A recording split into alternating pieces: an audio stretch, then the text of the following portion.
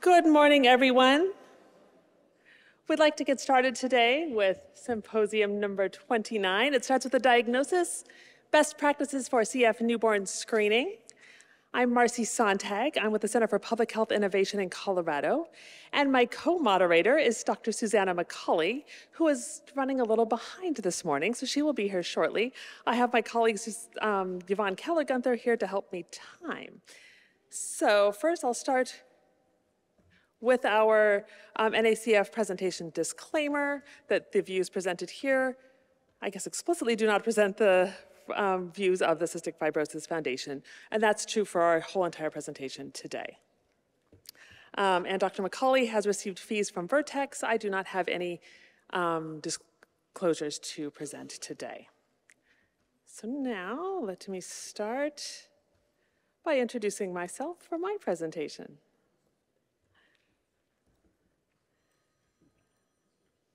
So I am going to, I'm really excited today to be talking to you about our newly minted CF newborn screening um, guidelines. Um, and a little bit of background, so probably is very clear to everyone in this room, newborn screening has been available in the US since 2010. And while there has been universal adoption of CF newborn screening, there's quite a bit of variability across states, which leads to variabilities in outcomes for children related to the time of diagnosis and even the diagnosis itself. Further, the minoritized population groups are disproportionately impacted and may have even further delayed diagnosis. So it's because of this, for the past several years, we've been looking to improve that and realize that the equity, sensitivity, and timeliness of CF could be improved through the adoption of consensus-driven guidelines.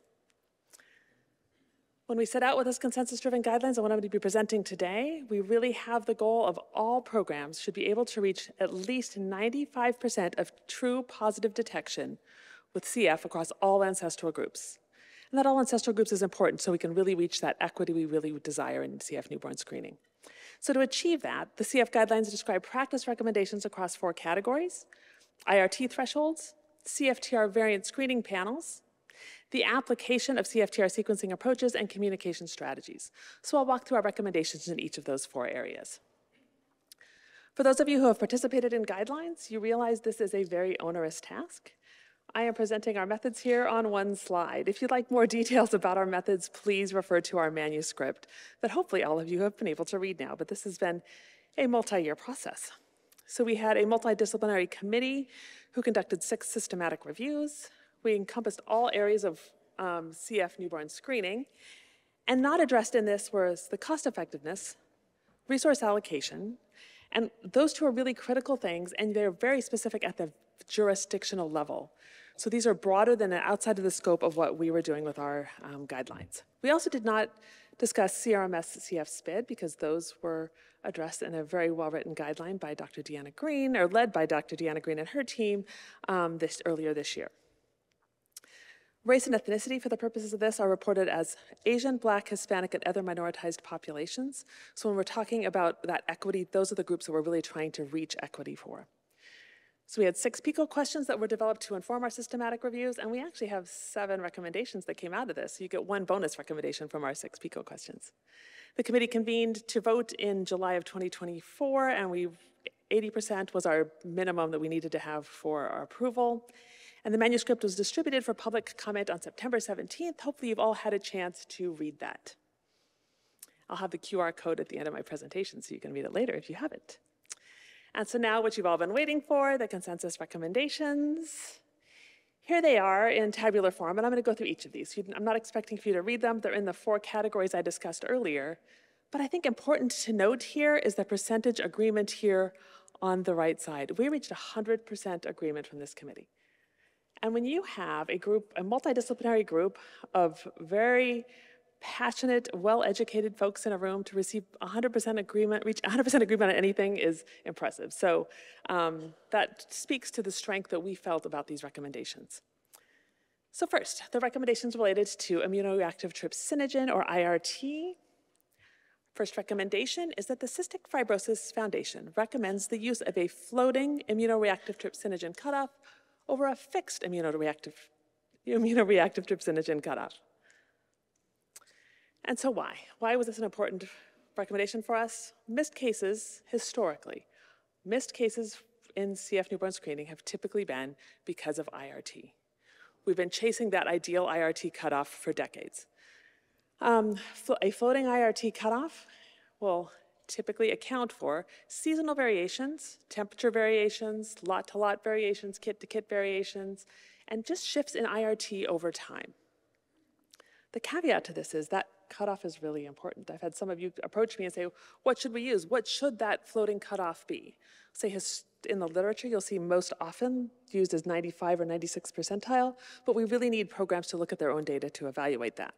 However, a very high floating cutoff of 99.9 .9 percentile will likely perform worse than a fixed IRT cutoff of 50. So you really need to evaluate that within your own programs. Our second recommendation is that the CF Foundation recommends using a very high immunoreactive trypsinogen referral strategy in CF newborn screening programs whose variant panel does not include all known pathogenic variants in CFTR2, or does not have a variant panel that achieves at least 95% sensitivity in all ancestral groups within the state. I will let you know that this recommendation, I think, surprised us all that we came to this conclusion. In fact, even the referral, the group who studied this carefully was like, we, they initially thought they were going to recommend against this particular recommendation. But we think it is absolutely very, one of the most critical recommendations we have. And so for those of you not familiar, in very high IRT strategy, infants with very high IRTs, say above 140, 150, 160 set by the panel or above the 99.8 or 99.9 percentile, who have no detected variants following panel testing on newborn screening, are then called screen positive. So they're infants with zero variants, but have a very high IRT. Um, and we know we're doing this because CFTR variant panels miss infants with less common variants, and those less common variants are typically seen in infants from minoritized populations. So this is one of our most critical elements for equity that we have come forth with is that to really identify those infants who may not have a variant on a panel, we recommend that you use a very high IRT. Many of you out there will notice this last bullet and say, yep, that's what we saw, that very high IRT has a low positive predictive value. We have, we recognize that, and yet we think even though it has a low positive predictive value, it is worth that extra effort in order to ensure equity in our CF newborn screening programs. Recommendations related to CFTR panel testing. Recommendation three, the CF Foundation recommends that CF newborn screening algorithms should not limit CFTR variant detection to the F508 del variant or variants included in the ACMG 23 panel.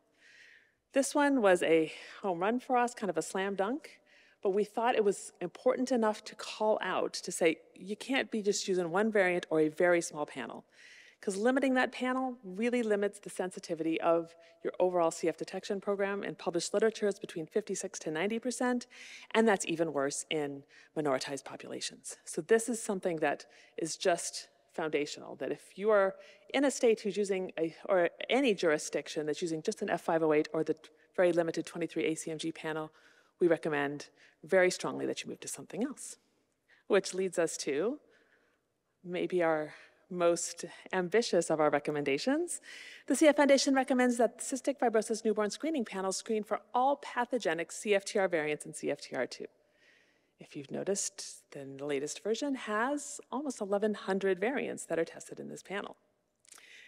So, why do we do this? We know that screening for all known pathogenic variants in CFTR2 is going to improve sensitivity, in the overall population, and it's particularly going to improve sensitivity in minoritized populations, in Asian, Black, and Hispanic populations. This is critical, right? You're screening for all of them. I'm going to walk through what this might look like in a figure in just a couple minutes of how that might really implement itself. But if you were to do this, you would say if infants have two variants on this panel, they are positive, they are presumptive positive for CF. If they have one variant, we don't need to call them out and we're done. And so that eliminates a lot of the stress to CF newborn screening programs. Recommendation five, the CF Foundation recommends conducting CFTR variant screening twice weekly or more frequently as resources allow. So this is really a timeliness recommendation. We know that many factors influence the timeliness of CF newborn screening. It could be the time of the collection of the specimen in the hospital, shipping methods and frequency, the laboratory hours, when do they open, how often do they test their dried blood spots, all of these things influence it. But if we can get to everyone screening CFTR variants at least twice a week, that will shorten that delay for um, CF newborn screening. And we know that those who did that had a shorter time, an earlier first CF visit than those who screened once a week or less frequently. Next, recommendations related to CFTR sequencing. The CF Foundation recommends the inclusion of a CFTR sequencing tier following IRT and CFT variant panel testing to improve the specificity and positive predictive value of CF newborn screening. The CFT variant panel we're thinking would be in the newborn screening program. We're not asking for a clinical sequencing panel. This would be, or clinical sequencing, this would be as part of the newborn screening um, system and algorithm. So this is really the discussion of this is the recommendation is that infants with one pathogenic variant following panel testing should have sequencing of all exons, flanking introns, and specific intronic variants. We do recognize, however, that this will not pick up all um, variants in CFTR. Structural variants, deep intronic variants may be missed. And further, with this step, following the sequencing step, if you only are reporting out those with two known pathogenic variants, you are decreasing the sweat test, um, the burden for sweat tests. So we're not going to call out those infants with one variant, which also decreases the burden to families. We also believe, really, you'll notice a theme here, that this can result in a more equitable um, screening program, and also it's more specific and a more timely diagnosis for everyone. All right, recommendations related to communication. The CF Foundation recommends that both the primary care provider and CF specialist be uh, notified of abnormal newborn screening results. This varies depending on program right now. In some programs, the CF center is notified, some programs the PCP is notified, and in many programs it varies depending on if an infant has one or two variants. We think that both, notifying both, will increase the likelihood of a correct assessment of the infant's risk and get the right information into the family's hands. Families really, in our literature review, preferred to have information from trusted medical providers. They wanted the CF specialist to have, be notified of the positive results, and they want prompt notification from a healthcare provider that's knowledgeable about CF. They want the right information early. We also know from some of the research that we've done that some PCPs may misinform families due to a misconception that CF only affects infants who are non-Hispanic white. So finally, in this realm of this, is no matter what you're doing, a well-defined, consistent, and reproducible system is necessary. You have to have something that everyone knows what role they play and how is that child going to get into care. It's critical for the success and the um, proper education of the family to get them in early. All right, so now we have an overview of an algorithm. Some of you have been in earlier sessions this week and may have seen this figure. And so I feel like this is one of those highlights games where it's like what's different and what's the same because we've changed this figure a little bit reflecting from your comments that we've received. So I'd like to give you the flow chart of what does an ideal newborn screening algorithm look like and the decision points you would have in changing your algorithm. If you were to go home and talk to your newborn screening program, what changes would you make? So following the IRT, or thinking about the IRT measurement, the first question to ask is, is the IRT threshold floating or fixed? If it's fixed, we recommend recommendation one. Think about that, implement a floating IRT threshold. So you say, well, I have a floating one, so then you move on to the CFT variant panel. So, oops, went too fast. See over here, we, uh, this is recommendation five. We recommend that you perform that CFTR variant panel twice weekly or more frequently. And then when you get to the CFTR variant panel, you ask, hey, does my CFTR variant panel include all pathogenic variants in CFTR2? If the answer is yes, you proceed down to this bottom box and you refer only infants with two identified pathogenic variants for sweat testing. And you're done. And you're done. This gets infants in earlier. It gets infants in with a presumptive positive CF diagnosis. And you're eliminating all of that extra testing with um, carriers, right? And taking that stress off those families. If your answer is no, that it does not include all pathogenic CFTR variants, you say, well, I'm going to implement a panel. I need to implement the panel that includes all those pathogenic variants. That's very uh, um, recommendations three and four. We'd also ask you to say, well, is sequencing performed? We're not doing the big panel, but we are identifying infants with one variant. Are we doing sequencing after that? If that answer there is no, then you need to say, well, we need to consider implementing CFTR sequencing, which is recommendation six. And then we move on to say, well, if CF, if further down that panel, if CFTR sequencing is performed and you say, yes, it is performed, then you can say in that realm as well, we're only going to refer infants with two CFTR variants. So you're not sending all those other families to sweat testing. You're saving the sweat testing and again, the stress on the families. If CFTR sequencing is not performed, you're going to refer infants with one or two pathogenic variants because you may have missed some of those variants, right? So you have not done the big panel, you have not done sequencing, you need to move down into referring infants with one or two variants, similar to what most of us are doing now. And then the last question is, does this variant stage, whether it be the panel or your sequencing or any of those, does it achieve 95% detection? And does it achieve 95% detection across all ancestral groups? If that answer is no, you think you're receiving, you're at 93rd percentile, you're at 90th percentile sensitivity for all um, ancestral groups in your population, you need to implement that very high IRT strategy or recommendation two. And if that's the case, you then get to that last box in the bottom saying referring infants with zero variance and very high RT with, for sweat testing. There it is. Okay, yay. So I know many of you have seen various versions of this. This is slightly modified because we got feedback from you and questions. So this is exactly what we need, is we need more feedback and questions so we can keep uh, making these changes. So considerations related to these um, guidelines. First, sensitivity of the program should be regularly reviewed.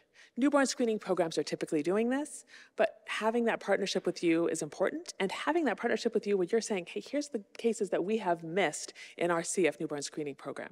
That's critical. So they have that feedback and you know, who, how, who have we missed and how do we continue to improve our program? The very high IRT recommendation is not recommended for infants in the NICU. IRT is routinely elevated in premature infants, and there are CLSI guidelines on how to deal with infants in the NICU. So we do not um, recommend using that very high IRT for NICU infants. We do believe that timeliness and equity can be improved with sequencing using CFTR2 and only referring infants with two variants identified.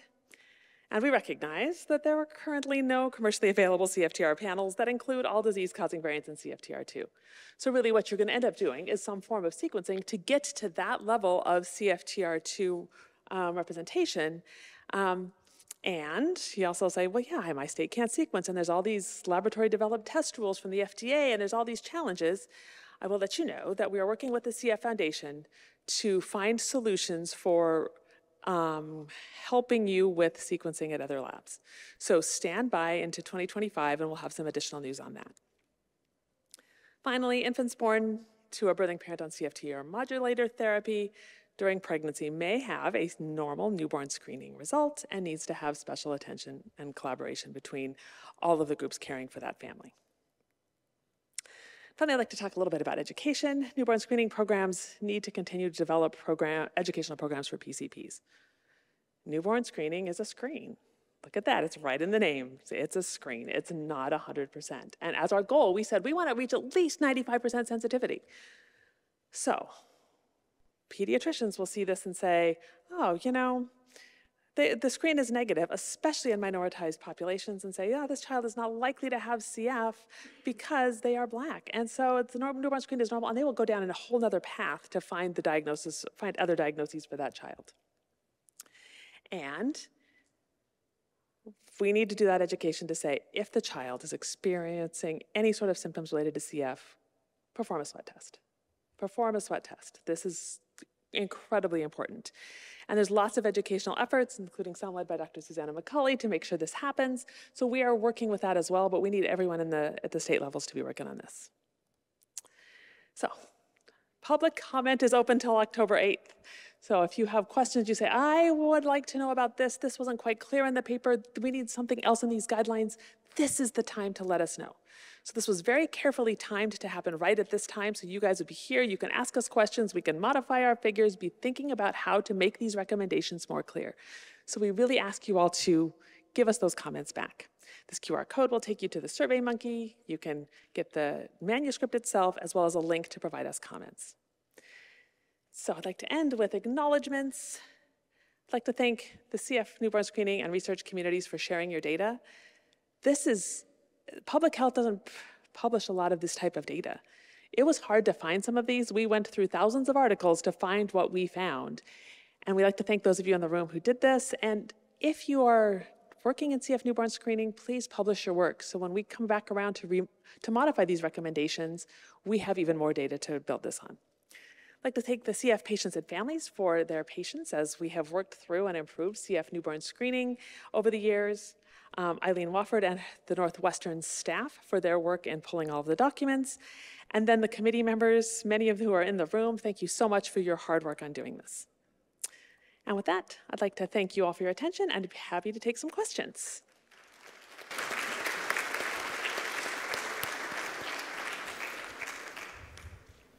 Hi, Katie Singh, genetic counselor for Miller Children's. Thank you for this. Um, I really appreciated it. One kind of nitpicky comment is on your beautiful flow chart. You reference pathogenic variants, which as a genetic counselor, I totally agree with and is the right term to use. But many newborn screening programs, including my own, do not follow ACMG guidelines for reporting and don't call them pathogenic on the reports. And CFTR2 calls them CF causing variants, not pathogenic. And so from the state interpretation perspective, that guideline could conflict with, it could cause confusion. Yeah. Katie, So that's, that's, CFTR2 is disease-causing variant of clinic, varying clinical consequence and not CF-causing. And so if you're recommending to follow CFTR2, there's already a mismatch. And then many states aren't using pathogenic, likely pathogenic, VUS, likely benign, benign, as defined by ACMG. Katie, that is an absolutely excellent point, and that's something that we can incorporate. How do we, how do we tie these to each other and have that Karen will mapping? help you do that. So you're stat with Karen. Mm-hmm. Karen is on our committee, and she is amazing, so we will, I- that's great. I already did a public comment. I didn't catch it until you put it up here. So Okay. that's my public comment. Well, Katie, can I encourage you to put that also in the public comment, because it's important. QR back up and I'll do it right now. I will do it, yes, that's a, oh, Yeah, you can make as many public comments as you want. Um, hi, everyone. I'm Susanna McColley. I deeply apologize for being late, and I recommend that if you want to double check a video that you uploaded at a speaker ready room, you get there at least half an hour as opposed to 20 minutes before, in case it isn't working. Um, but I, I want to thank um, Marci for uh, forging on. And um, after uh, the next question, we've got a couple in the um, uh, online platform. So please. let's go, oh, yeah, go ahead. From, Oh, go ahead, Mel. oh, sorry. My question, between like the fellow session yesterday, I, I'm from Connecticut and I've been in the collaborative. So people talk about repeating newborn screens. And I'm not familiar with doing that. Typically for our program, it's one and done. You get it.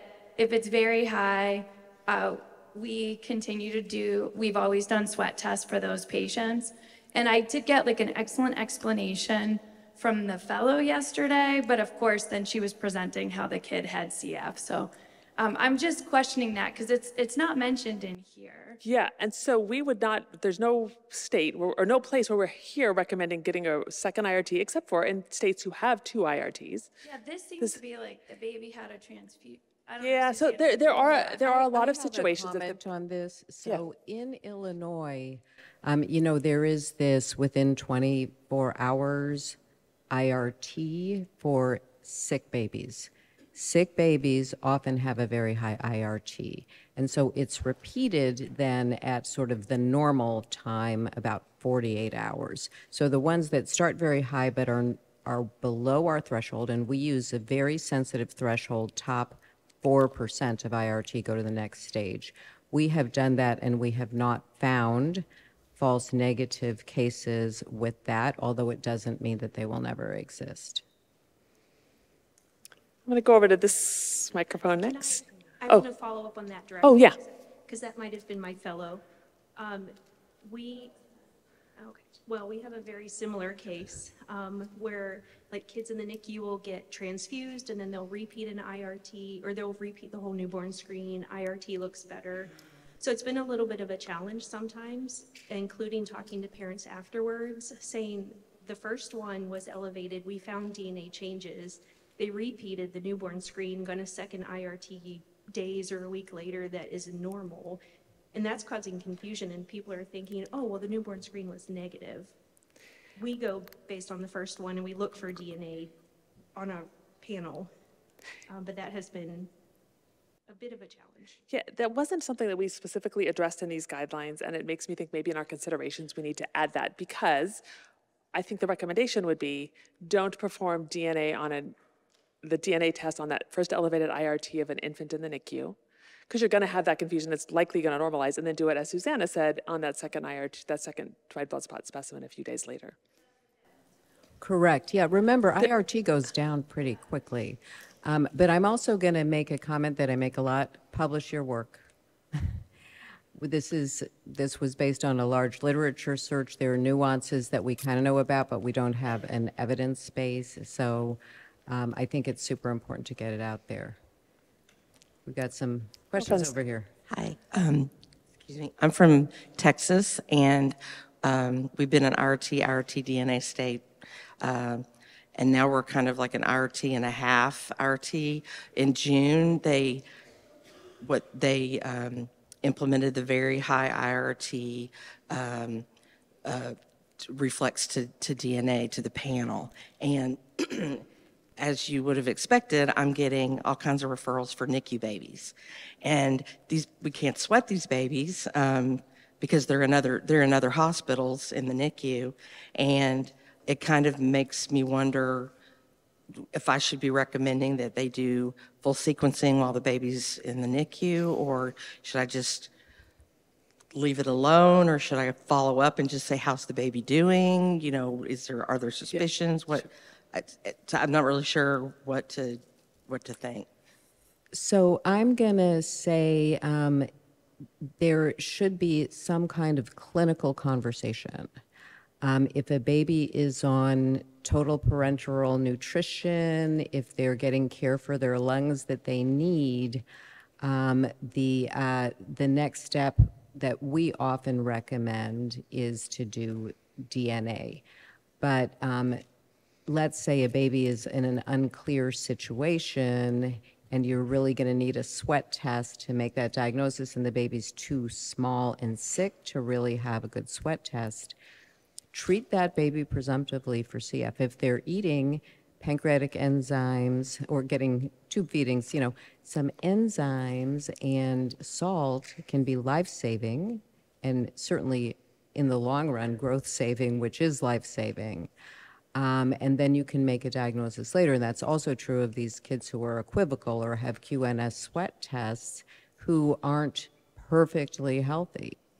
Um, because actually diagnosing people, although it's the theme today, um, is there can be a time period in which presumptive treatment is needed as you're sorting out the diagnosis. And we do that in other disorders too, you know.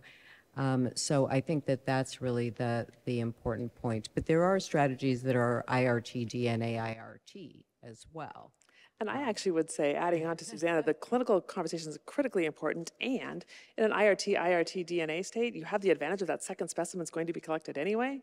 You could re, go back in the NICU population only, go back to just IRT, IRT DNA, wait for that second specimen to come in, see if that IRT is normalized, and then do the DNA. So if the Texas lab had that ability to flag who's in the NICU and who's not, they could determine that, and you would probably have many fewer of those that are going to be critical, and you wait a few days and you can make that decision. And one more nuance many um, states will run DNA on a baby that you're worried about. So we do this all the time with subsequent siblings who have not had prenatal testing. We let the state know the baby's born. Can you run the DNA on the blood spot regardless of the IRT? And they do it for us. So that, that's a different situation because you know what the variants are in the sibling. But it's another way um, that you can sort of try to get that baby diagnosed earlier. Thank you. So let's do Mike, and then let's go on to the questions in the app, and then we probably need to move on to our next presenter. Thanks, Marci. Thanks, Marci. Yeah, I- My I'm question, gonna, Let's read- um, I'm going to invite people who ask questions to email us directly, make public comments, or um, come up after the session so you get your questions answered. Perfect. so Go my- ahead, Mike. My question is, is you, if you follow the new algorithm with the, the, you know, CFTR2 pathogenic mutations and everything, so one mutation is considered a negative screen. Is there utility in notifying families of their child's carrier status? Oh, this is the thousand I just going to leave that one to you. Th- Thanks, Mike. And so I am going to say, I think that's a very philosophical and ethical discussion. I think a lot of the genetic counselors in the room might say, you know what, we can get, we do not need to do that. But I think that's a discussion you'd have to have with your state. But I would also say Ellinor is going to be talking about that in just two talks from now, and she's going to be addressing some of those issues. So stick around, and we'll come back to it. But it's a, it's a great question. All right, would you like to tee up the next talk? This is our video. I, I can get it ready, but I think if you want to do the introduction of it. Yes, um, so uh, I would like to introduce our next um, speaker or speakers. Um, I, our next topic is Beyond the State House. Um, It's about advocacy that's not direct to legislators. And I had invited uh, Terry and Michelle Wright to speak today, but they are actually speaking at a rare disease conference with NIH and other staff. And so um, I'm grateful for the American Thoracic Society staff because they spoke at the ATS meeting this year, and we got a little room and we made a little video. So um, this is the disclosure for the Wrights. They um, founded and uh, lead the National Organization of African Americans with Cystic Fibrosis. Um, and they have been uh, working very, very hard to raise awareness and improve policy around newborn screening um, so that every child with CF has a good opportunity. Um, and I think many of you know Terry's story, but um, let's go ahead with the video and hope that it works this time. So it is my pleasure then to introduce Rachel Linnemann. Um, Rachel Linnemann is with Emory University and Children's Healthcare of Atlanta, and she's also the CF Center Director. And Tanicia Daley is a pediatric endocrinologist, also with Emory University and Children's Healthcare of Atlanta. You guys both like to come on up?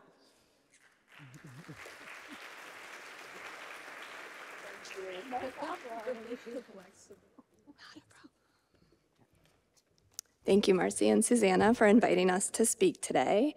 Um, and good morning, everyone. We are excited to have the opportunity to share with you today our advocacy efforts to improve CF newborn screening in the state of Georgia and beyond. Dr. Daley and I both received grant support from the CF Foundation, which is related to this presentation. So my call to action actually started about five years ago when I became CF Center Director at Children's in Emory in Atlanta. And soon after I became director, we had two children who were diagnosed with cystic fibrosis. Um, both had been missed by our newborn screen in Georgia, which uses a 39 variant panel. Both were minoritized children and um, had two rare CFTR variants. So I actually reached out to our newborn screen program to report those cases, and I discovered that there was actually no systematic way of tracking missed cases in our state. At the same time, I was hearing stories from families, and I wanted to share some quotes that were collected by one of our former fellows, Dr. Brandt, during a qualitative research study, and this was also presented at poster 447. One mother shared with us that the pediatrician said, Oh, she is African American. She doesn't have cystic fibrosis for eight months, even though it came up on her newborn screening. Another mother shared with us that their pediatrician said, It's not common amongst black people, so you don't have anything to worry about. So she kind of let it go for a while. And then another mother said that her OBGYN did a prenatal screening, which showed she was a carrier. But then the OBGYN said, said to her, quote, I didn't need to worry about it because I wasn't white and there would be no chance, if not any, that my child would have CF. At the same time, our pediatric CF population in Georgia is very diverse. So here it's shown in blue, and this includes patients from both our Atlanta program as well as the only other CF center in Georgia, which is our Augusta program led by Dr. Katie Mackey. Um, and you can see it's compared to our, um, in purple, data from the United States national population from the registry. So 10% of our patients in Georgia identify as Black or African American, 5% as two or more races, and 10% as Hispanic.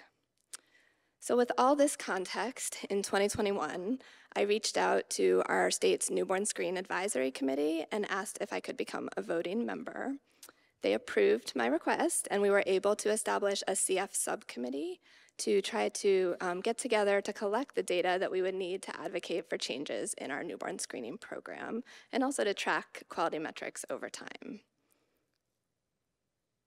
So we were lucky enough to receive a screening improvement program grant from the CF Foundation, which allowed us to clarify and retrospectively collect the frequency of missed and delayed diagnoses in Georgia. And this work was led by another one of our former fellows, Dr. Brittany Truitt. You can see here that while 19% of CF patients born in Georgia um, identify as Hispanic and or Black, multiracial, or other minoritized races, this group is overrepresented in the delayed diagnoses at 43%, and that's delayed more than 28 days, which is the CFF recommendation for diagnosis. 44% in our missed diagnoses, and 83% of those missed due to um, negative genetic testing. And again, that's the 39 variant panel, and we do not currently have a very high IRT cutoff in Georgia. So we found that Hispanic infants in our state had five times the odds of being missed or delayed compared to non-Hispanic white infants, while black infants had 2.7 times the odds of being missed or delayed. Our genetic counselor, Eileen Barr, led this work looking at case detection for several CFTR assays among our total CF population in Georgia, including pediatric and adult people with CF. And as you can see with our current Luminex 39 variant panel, um, Black and Hispanic patients are significantly less likely to be detected compared to our non-Hispanic white patients. And furthermore, two variant detection is dramatically lower, and two variant detection, as many of you know, leads to more rapid diagnosis because it minimizes challenges related to transport and other barriers for sweat testing. Next, we looked at the Illumina 139 Next Gen sequencing panel, which is used in several other states. And while this improved detection, it remained significantly lower and of note below the 95% goal. And then we looked at a custom CFTR2 based next gen sequencing assay. So this was based, oops, this was based on CFTR2 from 2023. So this does not include, and we'll need to repeat this for the new 1,000 disease-causing variants, but we used the approximately 700 um, disease-causing variants in CFTR2 at the time, um, and it improved um, and would be the best for reducing disparities in genetic newborn screening. But very importantly, you can see here that detection of non-Hispanic black people with CF in our state still remains lower than other groups and below that 95% threshold. So we did include all patients in the analysis, even if they had had full genotyping and had no identified variants. And so when we look at the black people with CF in our state who would not be caught on the CFTR2 panel, they're more likely to have rare and poorly characterized variants, private variants, or unidentified variants. And so it will be interesting to look at this with the new CFTR2 panel. So with all this data, we were able to take this to our um, CF subcommittee and advocate for changes in our state. And I'm happy to share that we have been able to make some progress. Um, one intervention that we did was we added a meconium ileus checkbox to our newborn screening card. We actually had several missed cases of infants with meconium ileus who were born in non-academic NICUs and had a negative newborn screen and came to our attention later. So this will automatically allow the state to run DNA on any infant with meconium ileus. Also, we were able to update our state's PCP letter that's sent to all infants with a positive newborn screen with only one variant to do some just-in-time education on CF demographics. So it now states, um, as presented by Dr. Truitt at Poster 747 and in the workshop on Thursday, it now states that CF occurs in infants of all races and ethnicities and that um, minoritized infants are at higher risk for delayed diagnosis. It also provides a timeline that we recommend the sweat to be done within two weeks. And then in April 2024, our Newborn Screen Advisory Committee unanimously voted in favor of implementing the Illumina 139 variant assay in our state. And they expressed support for a long-term goal of moving to a CFTR2 based panel once we got this in place. Now we're working on securing funding, which has its own challenges, but um, I'm very pleased that our collaborators, who've truly been wonderful at the Department of Public Health, despite being very overworked, were able to submit a screening improvement grant for the state lab. Um, so if funded, that would give them funding to validate and implement the Illumina 139 variant panel. And now I'm going to turn it over to Dr. Daley, who's going to share um, some information about our work with the American Academy of Pediatrics.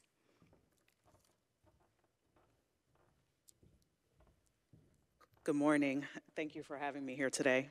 Um, so, my call to action came about in a rather peculiar way. I'm a pediatric endocrinologist, and I see patients who have CF related diabetes. And what's really interesting about my patient population is that over 20% of them identify as Black. And over the years, I've heard gut wrenching stories around diagnosis, and they seem to have really familiar themes. And I would say that it was firmly rooted in the providers not believing that the person sitting in front of them could have a diagnosis of CF just because of their ancestry. So I had a Michelle Obama moment, and I said, do something. No. Thanks. I didn't know what this do something was, but I did know that the providers in Georgia, the family medicine doctors, the internists, the pediatricians, they all needed education. So I turned to this wonderful woman, Dr. Terry McFadden. She's a general pediatrician at our institution, and she is a ginormous advocate for children in the state of Georgia. And I told her what the problem was. And she said, You know what, Tanicia? You need to go to the Georgia AAP. So I did. So in the winter of 2023, I had a meeting with the Georgia AAP um, I discussed what the problem is. I kind of provided what I thought would be a really great solution, which would be cross-discipline education about CF occurring in all individuals. And it was at this meeting that someone said, you know, it'd be nice to educate, you know, folks here in Georgia, but have you ever considered taking this to the national level? Really thinking about involving um, the AAP Leadership Academy with submitting a resolution. So I left the meeting and said, I'm kind of stepping outside my lane. I'm an endocrinologist, not a pulmonologist. Um, and so I needed to phone a friend. And so that's when I reached out to Rachel. And I said, We have this really amazing opportunity. I know you've been doing a lot of work with the newborn screening program. Can you help with creating this resolution for the AAP? So in the spring, we worked on language for the resolution. We submitted the resolution um, in the spring of 23, which was sponsored by our Georgia chapter. Um, and then um, in the summer, we had two meetings. The first meeting was with the reference committee, um, and that was in July. And this is where Rachel had an opportunity to really speak in favor of the resolution and the importance of passing the resolution. Um, that July meeting, we were able to advance the resolution to the August meeting, which was the um, AAP Academy Leadership Forum meeting, and that was where our resolution was passed. So, what does the resolution say? Whereas people with CF of minoritized racial and ethnic backgrounds frequently experience considerable delays and distress on their journey to diagnosis, and whereas people uh, with CF of minoritized racial and ethnic backgrounds are less likely to be diagnosed on newborn screening compared to their non Hispanic white counterparts. They therefore be it resolved that the Academy educate pediatricians that cystic fibrosis occurs among all people of racial, ethnic, and geographic backgrounds, and be it further resolved that the Academy advocate for states to prioritize equity in CF newborn screening by utilizing CFTR sequencing-based approaches or larger CFTR variant panels that reflect the demographics of the state.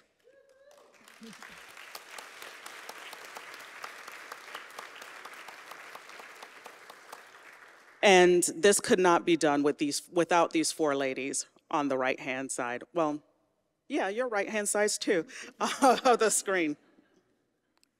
So what have we done with the resolution after it's been passed? So again, going back to me being a pediatric endocrinologist, um, in the fall of 2023, I was invited to speak at the Georgia AAP annual conference, which is a statewide conference. They wanted me to talk about type 1 and type 2 diabetes. So I went there with what they asked me to do, but then I also said, and all you pediatricians in the room, here is the AAP resolution. um, I also did the same task um, when I uh, presented earlier this year at the Georgia Kaiser Grand Round. So all the pediatricians who are with the Georgia Kaiser group, I had an opportunity to discuss the um, newborn screening resolution that we passed. Future work um, with our Georgia AAP, we are contemplating doing webinars or a series of webinars um, around the diversity of the CF population in our state. Um, one option that is being tossed around is presenting at one of the two state CME meetings. Um, the only downside to this is only about 8 to 15% of the pediatricians in the state of Georgia attend this meeting, so the scope would be really small. Um, we've also discussed an article in the Georgia um, an article in the Georgia Pediatrician discussing the resolution, um, establishing a resource page on the Georgia AAP website, or also making an announcement in a biweekly newsletter. And this is an email that's sent to all members of the Georgia AAP. What are some of the things that we can do with this resolution on the national level? And that would be working with um, the AAP sections. Um, and the two relevant sections that we found out would be helpful is uh, the Committee on State Government Affairs, and this would be uh, a committee that would help uh, chapters with advocacy. Um, the other um, section that would be important to work with is a section of pediatric pulmonology and sleep medicine. And one thing that we could do is review and update the content on the healthychildren.org um, website. And this is a parenting website through the AAP. And as you can see with that excerpt on the right hand side, um, it probably needs to be updated a bit. So another option would be to do a patient care page on aap.org um, around cystic fibrosis and also include an MOC program for CF and newborn screening.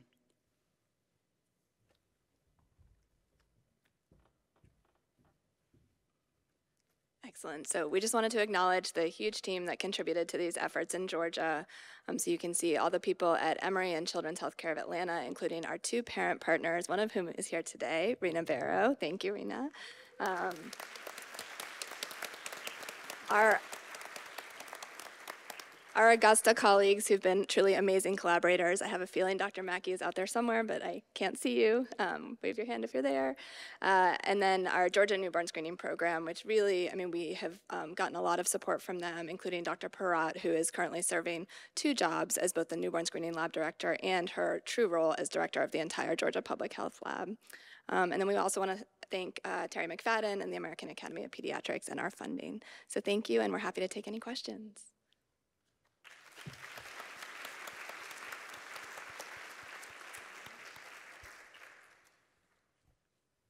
Thank you. Are there any questions from the audience? Oh, there's one over here. Tian. Hi, um, this was great. I, Deanna Green from uh, St. Petersburg, Florida, All Children's Hospital. And um, I was actually just writing this in an earlier session that we needed to get these screening guidelines to the AAP meeting, which happens to be in Orlando right exactly this week. I'm not sure what happened with the hurricane. Um, Do you have any thoughts on how we can actually get it into the national meeting for the AAP next year? Yeah, I mean, we've been able to connect with leadership of both those two sections that Tanicia mentioned, so I think that's a fantastic idea. Maybe we can follow up after conference. Right, Any other questions?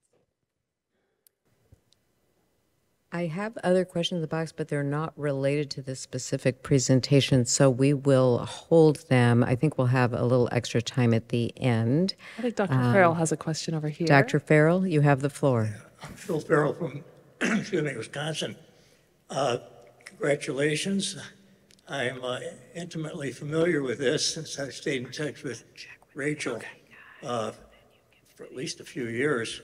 But one thing that uh, we don't always discuss when we talk about advocacy is the importance of uh, persistence and optimism.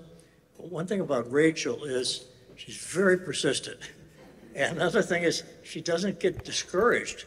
And there are many leaders, uh, particularly uh, in my experience, I'm sorry to say, CF center directors that get discouraged and uh, don't have the persistence that's necessary. It's very difficult to move the needle when you deal with uh, uh, public health programs. And so I think that's what one of the take-home lessons from the Georgia experience, how important it is to keep your goals in front of you, stay optimistic, and uh, be absolutely persistent, tenacious. And uh, thank you, Phil. I, I 100% agree with that. And the partnerships you built, that, that you reached out to each other, you supported each other, and this list of uh, partners here in your acknowledgments.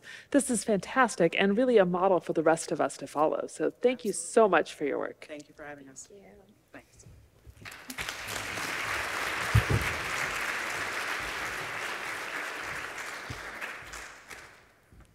All right, let's see if we can do this without having to lip read this time. We have help. Um, So I'm going to, if we go back one slide, I just want to note um, that the context of this video has to do with the fact that uh, Michelle Wright from NOAASF was invited as, uh, to give a talk um, for the National Academies of Sciences, Engineering, and Medicine study on newborn screening. And so that is um, quite a bit of what uh, they're going to talk about today. So um,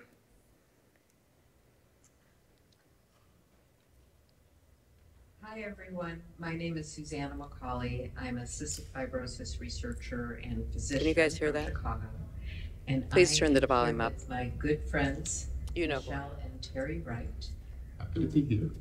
It's great to see you today. Thank you. Thank you, Dr. McColley. Michelle and Terry founded the National Organization of African Americans with Cystic Fibrosis um, after Terry was diagnosed with cystic fibrosis at age 54. Yes. And today I'm going to talk to them about their advocacy efforts and how they are working towards more timely and equitable diagnosis of cystic fibrosis for everyone. And so, um, Michelle and Terry, you started NOAASAF after Terry's diagnosis. He was sick uh, for his whole life. Correct. Um, people mentioned cystic fibrosis, but a doctor told him he couldn't have it because he was black. Um, you developed a screening tool with our dear mutual friend, Dr. Jennifer Taylor Kauser, Yes. um, to help people themselves and also physicians who are less familiar with cystic fibrosis um, learn more about it and, and get a diagnosis if that's what they had. So, um, you know, I work on CF newborn screening. Oh, yes, I do. And I would just love to hear from you how, after this big journey, how did you guys get interested in newborn screening and end up being advocates for more equitable newborn screening? Well, that's a great question. And part of that was our own unique journey, taking us down the road of not only newborn screening, but developing this tool. And so when you think about health inequality, you want to believe that with everybody having newborn screening, the worst is behind us. But then that's not the case because you're dealing with so many different variants. And as it pertains to a lot of underrepresented populations, um, blacks, indigenous, and people of color, you tend to see rare mutations. Like my husband actually has two rare mutations. So from a newborn screening perspective, we wanted to believe if they would have had newborn screening at the time he was born, it would have made a difference. He would not have waited 54 years to be diagnosed. Actually, that was not the case because newborn screening would not have screened for his rare mutations. And that's why we were so excited not only to connect with you, but to respect and understand the research behind what you are doing in newborn screening. So we were interested because we know newborn screening can play a vital part in life and death, and not only life and death, but the quality of life. Yeah, thank you, Michelle, and thank you for your collaboration. Now, um, just a few months ago, um, you had reached out to me because you had an invitation to talk about your work for the National Academies of Science, Engineering, and Medicine.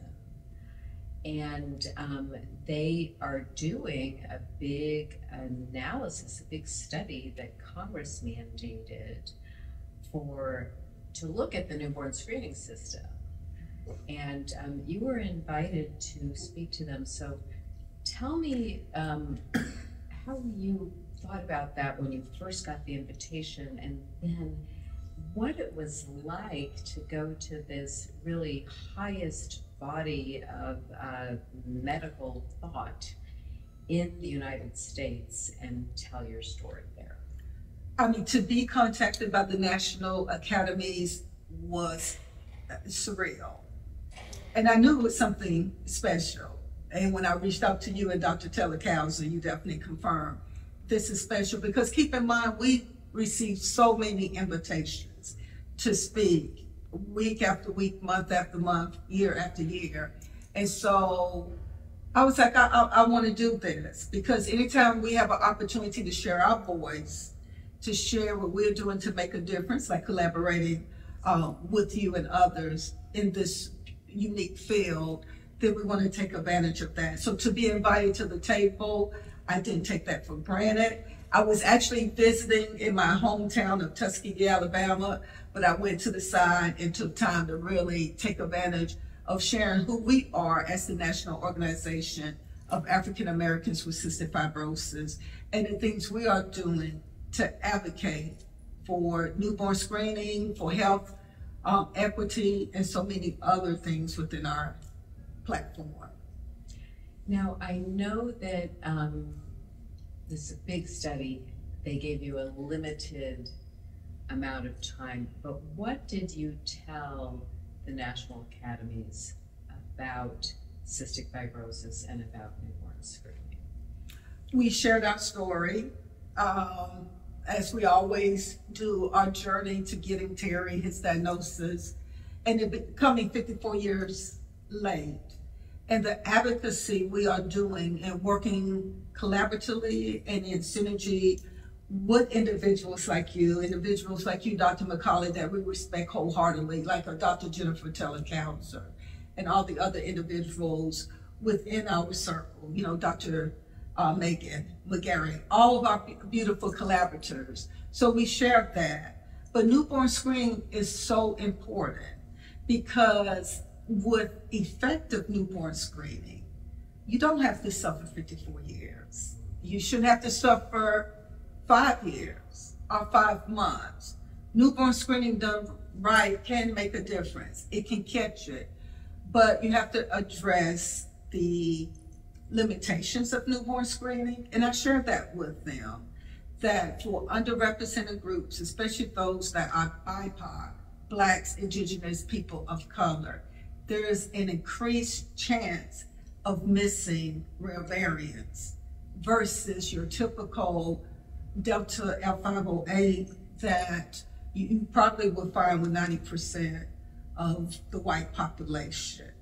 So we were honest, that led to um, sharing with them about what we are doing in newborn screening, working together, um, our collaboration with Dr. Jennifer Taylor Counselor to develop a screening tool to help because for the newborn, the ones that's falling through the cracks of newborn screening, we want to catch them on the other end with the right cystic fibrosis screening tool. And also we want to do with Terry Wright's Law, so uh, the states can be more on one accord in testing for all variants and not just Delta F508. Yeah, tell me more about Terry Wright's law. What, what is the language of that that you would like to see um, implemented across the United States? In layman's terms, we just want to make sure that all CFTR variants are included and not just your commonly caused variants that could often be missed when it comes to underrepresented individuals. Like again, in Terry's case, he has two rare variants that would not have been called on newborn screening. And so by including all variants, 2,000 plus, I believe, then there's a better chance of individuals, regardless of, of race, ethnicity, background, not falling through the cracks and helping to fill those gaps. And Terry, you have such a wonderful outlook on life. You're so strong, and you always show much, show so much love in your interactions with people. But do you ever think about what it might have been like if you'd been diagnosed and treated when you were a baby? Oh wow, Dr. McColley, if I was a baby during those early stages, things would have been so much different for me because now that I know the diagnosis, the treatments that I'm getting now, I could have started much earlier. My quality of life could have been so much better. Uh, think about my sports days in baseball. Uh, I would be playing Major League Baseball. yeah, right. Well, maybe not at your current Terry, certainly in the past. Yeah, yeah. But uh, I, I tell you, it would have made a definite uh, big difference. Even I think about also my big cycling days. I would get out there and ride those Century Rides and those Pelotons. I was pretty strong with this CF, even though I was on the sideline and suffering and, and being very dehydrated because I can remember one time got so bad dehydrated kind of went into kidney failure mm-hmm. on one of those long century rides. But I think if I would have got diagnosed a long time ago, therefore I've been taking the treatments, uh, proper uh, hydrated myself and would have been preventing a whole lot of things, would probably been much stronger. Yeah. Def- definitely. Yeah, and um, I, know you've you guys have faced some of this before, but what would you say to people who said like, well, You've already exceeded the life expectancy of the average person with cystic fibrosis, or well, it's really not practical to test for every variant. What would you say about that to uh, people who say stuff? I would say sometimes people can say some of the dirtiest things. That's what I would say.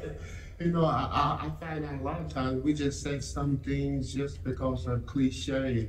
You know, something we've read in a book or we've heard in the past. We just say some things and not being real respectable of a person's feeling and what they're really going through. Like in my case, you know, I've had a lot of things said to me uh, that were just kind of throwing it out to me, just really uh, didn't didn't didn't know my story, quite know my story.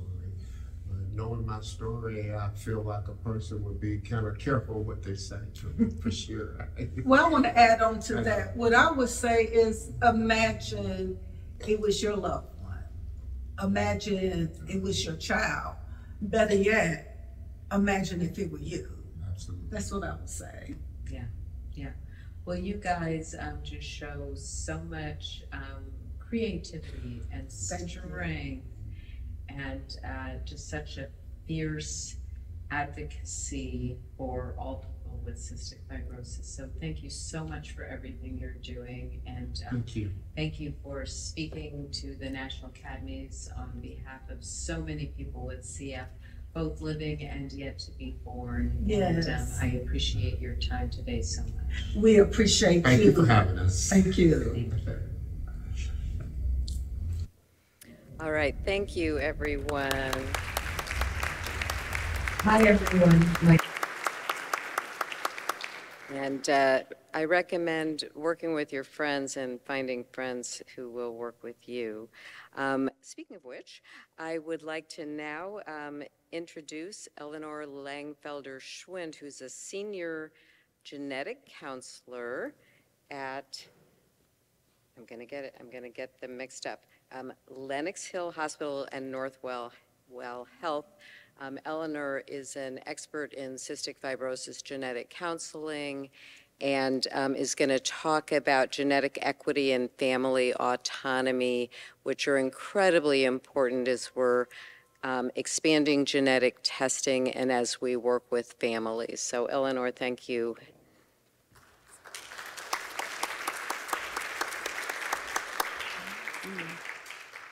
Hi, good morning, everybody. Thank you for staying late on a Saturday, and thank you to Marci and Susanna for the invitation to join this really inspiring panel.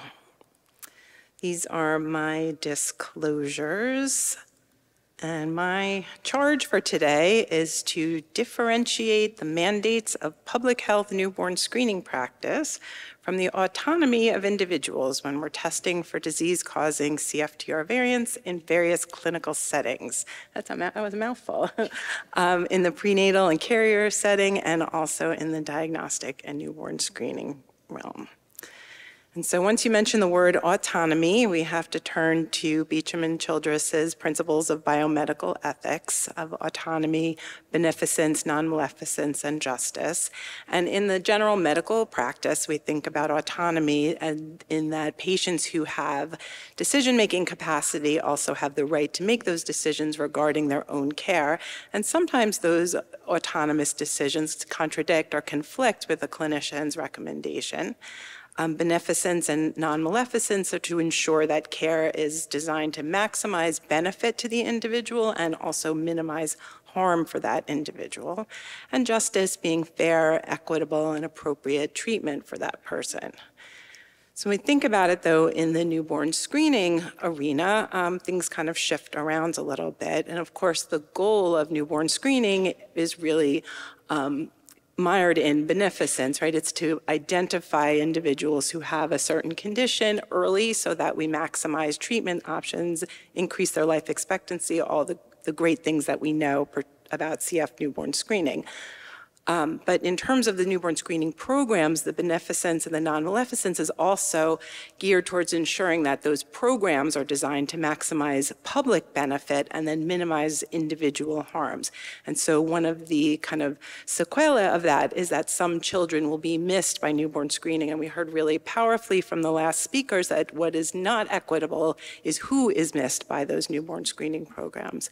Because when we think about newborn screening, we often think about equity and justice every uh, newborn screening is universal. Everybody has access to it, and states have a plan to disseminate positive results and ensure that there's follow-up and diagnostic resolution for every baby with a positive result. But again, who has a positive result in CF newborn screening is certainly inequitable. And then autonomy, um, it's really to provide choice where possible.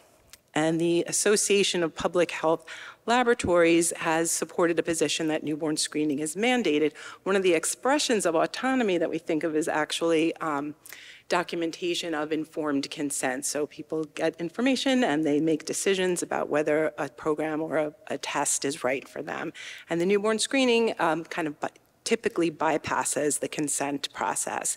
There is typically also an opt-out for things like religious reasons, but it's expected that newborn screening is uh, universal. So we kind of think about that on the scales. Newborn screening programs weight heavily on beneficence, non-maleficence, and justice, and are a little bit lighter on the autonomy. So I have a couple cases I just want to share that kind of illustrate these principles. Um, a little bit earlier in my career, I'm in, I've been practicing in New York State. Our algorithm has shifted a bit, but um, we have a two-week-old baby who had a positive CF newborn screen. We use an IRT DNA and then sequencing tier. This baby happened to have an IRT in the top 5% and two panel variants and the baby had a positive sweat chloride test, was found to be pancreatic insufficient, and started on, on ivacaftor as soon as um, that was in the, she reached the FDA approved time. Um, in talking to the patients a little bit more, the parents, it turns out that they had declined carrier screening. Um, they didn't think it was relevant to them because they didn't have a family history of cystic fibrosis, and they didn't really know much more about the screening than that.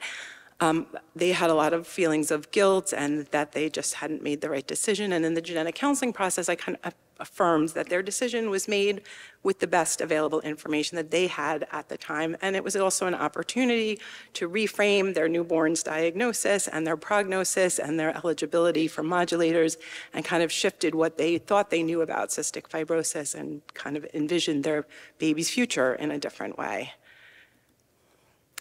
On a different note, um, a three-week-old baby who also had a positive CF newborn screen, again with IRT in the top 5% and one panel variant. And this is a little bit of an older scenario when we were still doing IRT DNA with one panel variant. Um, and typically when I would see families who were referred with one variant, I would talk to them about the likelihood of carrier status versus actually having cystic fibrosis in the IRT DNA uh, algorithms. It's a, at least in New York at the time, it was about 19 carriers to one person uh, with would actually have an unexpected positive sweat test and have cystic fibrosis. And typically parents would find that fairly reassuring um, in the process. And to my surprise, um, the parents expressed confusion and what I kind of perceived as anger that I was giving them this information. And upon, again, further exploration, I learned that the parents had actively declined CF carrier screening. They understood it and they had a detailed discussion with their prenatal care provider and they had had actively declined the testing. They were unaware that the newborn screener, what they described as the heel stick, would actually reveal carrier status, and they were really quite taken aback to learn of their child's CF carrier status, and then by um, and then also that one of them was obviously going to be a carrier themselves, and that all happened without their permission and their consent. And so our genetic counseling really focused on validating those feelings and trying to um, explain the difference in approaches for, from, for prenatal screening versus newborn screening, and that the goal of identifying babies who needed treatment was why we have cast a wide net. And while I think they, they understood it, they were not happy about it. Um, their baby had a normal sweat test result, and we did not see them for, for further uh, for further discussions or evaluation because. So in just kind of comparing and contrasting these situations, in the prenatal setting, the parents were given a choice about the scope of the genetic information that was generated about them. And in scenario one, that decision to decline carrier screening may have been based on misinformation or misunderstanding. So you can kind of question about whether that was a truly autonomous decision. Um, and in scenario two, the parents really made an informed values-based decision to refuse the carrier screening. And then they moved into the CF newborn screening realm where the parents were not given a choice about the scope of that information. And in scenario one, that beneficence and justice of newborn screening led to early diagnosis and treatment, and everything worked the way it was it's supposed to in newborn screening. But in scenario two, that lack of autonomy may have impeded their trust in the healthcare system. So one of my roles in my professional career is to just make plugs for genetic counselors and genetic counseling, so here I go. Um, so the Genetic Counselors Code of Ethics is includes in, uh, statements about that we enable our clients to make informed decisions free of coercion, illuminate the necessary facts, clarify alternatives and consequences, and respect our clients' beliefs, inclinations, and circumstances. Now, every U.S. state has an IRT and DNA-based protocol, whether it involves a sequencing tier or not, which will change soon. um, and families really need counseling about the implications of CF newborn screening results in order to act on them appropriately.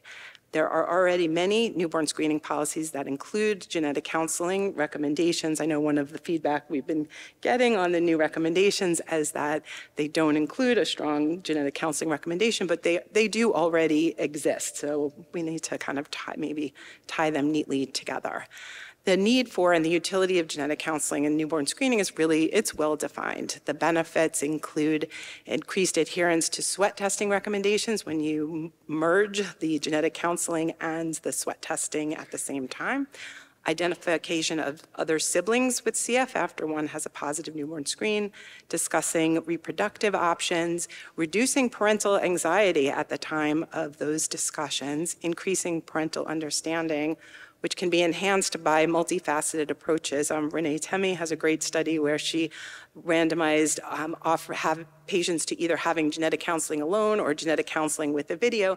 And not surprisingly, hearing this information more than once and in more than one way improves understanding. And then we've also got some data that having a genetic counselor involved in the process may improve efficiency of the CF newborn screening diagnostic resolution process.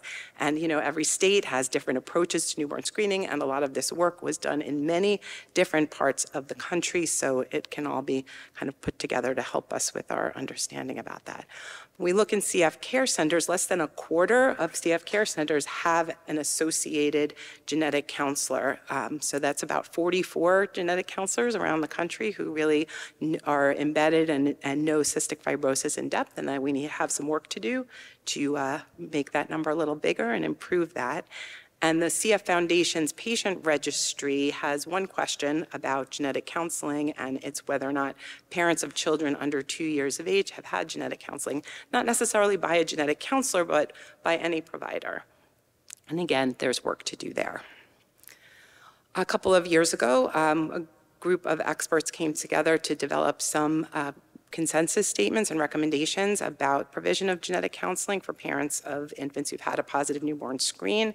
Um, we used a Delphi process, and uh, with that similar 80% um, uh, agreement rate, and came up with a list of 17 recommendations. I know this is really tiny. The publication um, is there. I'm going to go into a little bit more uh, depth, but we kind of bucketed those types of recommendations into affirming the prior CF uh, Foundation policy policy statements about genetic counseling, addressing some infrastructure and logistics, defining some appropriate training for genetic counseling providers and genetic counseling content, establishing a path to equal access to genetic counseling providers, and setting a standard for client-centered CF newborn screening genetic counseling that's respectful of patient needs and autonomy. So I'm going to focus on these last two.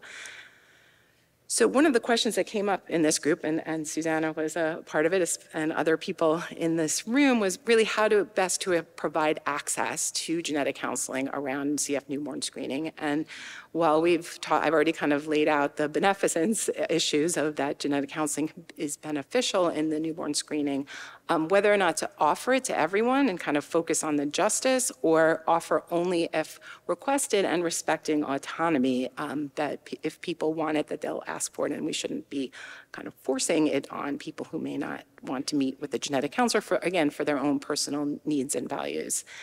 But the question then becomes, does emphasis on parental autonomy impact equity? And we know from other research that in some healthcare settings, asking questions and requesting additional information or services can be influenced by socio-demographic characteristics. And not surprisingly, more educated people tend to, or people with higher health literacy tend to ask more questions. Um, in this particular study, patients who were white tended to be more active in making requests and asking more questions than their counterparts from other groups. And there can be some uh, situation-specific predictors um, of how patients participate, um, implicit biases on the part of the provider, um, that physician's communication style, and whether or not they're using partnership building skills and supportive communication to interact with their patients. And just kind of applying this to genetic counseling, there's a study from uh, the group in California, which has been doing a CFTR sequencing tier on their newborn screening panel for longer than anybody else. And they have very low uptake of free telephone-based genetic counseling, even though it's made available to parents of just the CF carriers identified through the California CF newborn screening program. I think that gets to the question that was at the microphone a little bit ago about what do we do with those people who have one CFTR variant after sequencing. Clearly, they don't need care in a cystic fibrosis center, but they do need genetic counseling. And again, if that counseling is actively provided or just made available, it looks like people aren't necessarily leaning into it if they don't understand what it is or be unsure about its purpose. And then, of course, people who don't perceive benefits of genetic counseling are going to be unlikely to request it or actively pursue it. And if I didn't mention it directly, there was uh, only 12% of, of carriers in the California program called called the number. I know I picture like this phone that just never rings at a desk in, in an institution. I know there's some people from California here. Maybe they could provide more uh, more detail. So the consensus statements we um, we developed tried to kind of balance parental autonomy, but also making sure that people weren't um, unable to avail themselves of genetic counseling because they didn't know what it was or what its purpose was. And so three of those statements in that long list of 17 include that parents should be offered, to, so actively offered, the option to speak with a genetic counselor when they're informed of their child's newborn screening results. They should be informed of the purpose and availability of genetic counseling, but they should also be able to refuse it and, and off, it should be offered in a manner that that respects their right to refuse or decline genetic counseling if it, again, it's not, if that is not in keeping with their needs or values or it's not right for them at the time. So kind of optimizing, I can't see the, oh, I'm out of time. Is that okay? Okay. Okay. All right, good. um, so optimizing that access to CF newborn screening genetic counseling, um, we kind of weighed offering it to everyone, but again, respecting the right to say no thank you or no thank you at this time, and then revisiting those options even in the future, as opposed to offering it if it only requested, where people who may not know what it is may just say no because they don't know. So I'm sorry I just put up this very colorful slide, but I thank Denise Kay for uh, providing it. And we looked at our genetic rates of genetic counseling in New York State, and you can kind of take a focus on the, the teal section, which is whether people who had uh, two CFTR variants after our sequencing tier but did not have cystic fibrosis, so the group that was being considered for CRMS, CF SPID, and that's so obviously those are our most genetically complex population, and who met with a genetic counselor, who had some genetic, what we call genetic education from their CF care providers, who and who didn't seem to have any discussions about uh, CFTR genetics with, uh, with the CF care team. And so we can see that there's a lot, a wide range, ranging from 98% meeting with a genetic counselor all the way down to zero uh, meeting with a genetic counselor. So there's lots of differences in how genetic counseling was offered and made available or not made accessible in different centers.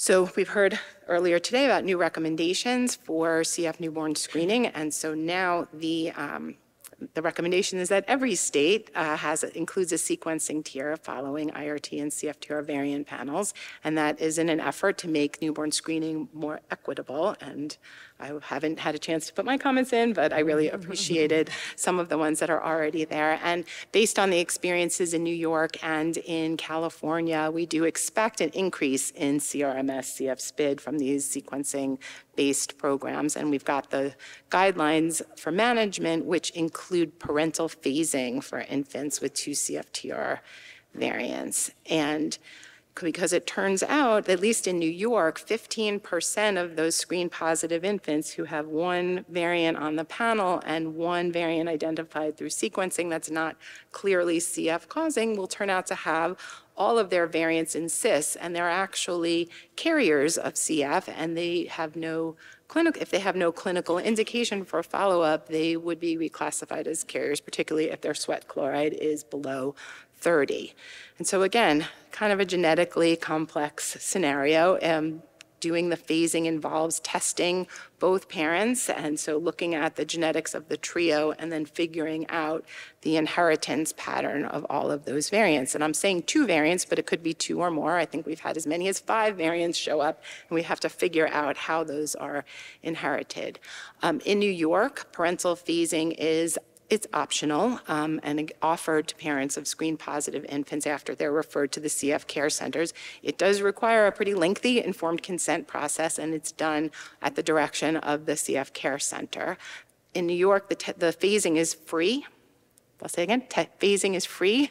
You and it's done on the newborn screening card. So you get um, the phlebotomist kind of draws usually either from the finger or the, the vein of a of the parents, puts the the uh, blood on the newborn screening blood spots, and we just ship it right back to the state lab. Um, according to our data from, I think it's the first four years of the CF uh, sequencing program, 59% of uh, families in this situation were phased by the newborn screening and 41% were not. This might be a little bit um, the actual phasing might be a little higher because people who have had um, prenatal testing or a family history, they may we may be able to get the phase without doing the uh, state program. And what we found was that um, 83% of families uh, who reported were reported to have met with a genetic counselor were phased. 77% of families who were provided education in genetics by a care center physician had phasing, but only 42% of families not reported to have discussed genetics were also not phased. So there may be people out there who think their baby has CRMS, CF SPID, and is at risk for CF and hasn't had, um, so they haven't been counseled about that. They don't know, and they're actually carriers, and they shouldn't be worrying about them themselves in that way or their child in that way, but do need some additional genetic counseling to understand the what it means to be a carrier.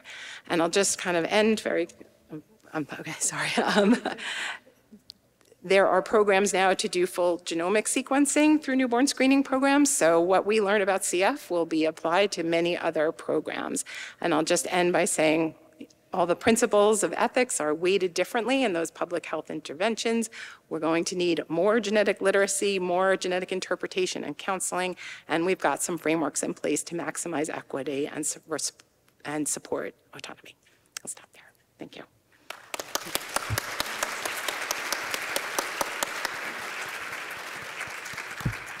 Questions over here. Thank you, Ellinor. That was fantastic. Hi there. Thank you so much, Ellinor. As always, mm. you um, are an excellent presenter, and I'm uh, always inspired by you. Um, I'm Sameda. I'm a genetic counselor in Green Bay, Wisconsin, and this is just a comment regarding offering um, genetic counseling. And I work in many different specialties. One of them is um, cancer genetics, and we have experience where um, medical oncologist A versus medical oncologist B um, the, their uptake of their patients for which patients schedule with us is drastically different. And probably everybody here, I mean, many of us can say this, it's the manner in which genetic counseling is offered. Even um, the same referral can be provided, but if that provider doesn't really believe in the utility, the value of genetic counseling, or doesn't understand what um, value a genetic counselor can provide, it almost um, is, I mean, we have a difference of 100% uptake of referral for genetic counseling versus 0%. So just a comment. Okay, thank you, Samita. And I would say pub- publish that. That would be a great, that would be great to have that in the literature. There, there's ways. Beth Kramer from Cincinnati Children's, thank you so much for the talk.